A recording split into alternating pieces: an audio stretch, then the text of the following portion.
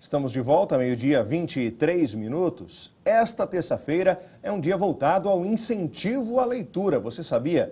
Hoje ocorre a ação Dia de Ler Todo Dia em vários lugares do mundo. É, aqui na região, Adamantina é uma das cidades com atividades previstas para hoje. Por isso, a gente conversa ao vivo com a repórter Mariane Santos, direto da Nova Alta Paulista. E ela passou amanhã lá em Adamantina e já está na nossa sucursal em Dracena.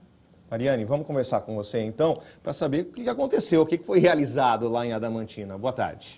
Boa tarde para vocês aí do estúdio, boa tarde a todos. Olha, hoje, lá Adam... hoje de manhã lá em Adamantina teve muita leitura. Nós conversamos com dois funcionários da biblioteca da cidade e eles disseram que estavam a campo desde as 6 horas da manhã, que já haviam passado por vários postos de saúde, Santa Casa, clínicas de repouso, fazendo leituras para para pessoas que estavam nesses locais. A meta neste ano é ultrapassar o número de pessoas que eles conseguiram fazer leituras no ano passado, que foi de 3.500 pessoas. Nós acompanhamos também as atividades lá no Projeto Guri, em que eles fizeram leituras para 30 crianças com idades entre 8 e 12 anos. As crianças gostaram bastante da atividade, ficaram bastante contentes. Olha, outras cidades da nossa região, como Prudente, Santo Anastácio, Lucélia, Nova Guataporanga, Martinópolis, Rancharia e IEP, também estão participando dessa ação.